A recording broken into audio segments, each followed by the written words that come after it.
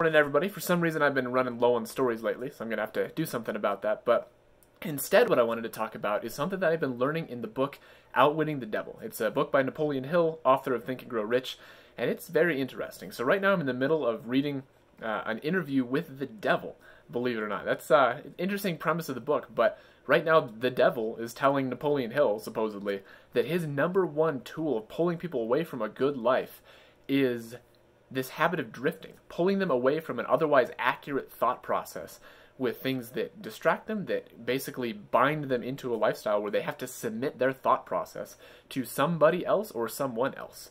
And I'm not going to talk about current events, but I'm going to ask you the question what is a time that you have caught yourself drifting? Caught yourself just surrendering your thought process, stopping thinking for yourself, just doing something because it was what everybody else was doing. Because that could be one of your greatest enemies.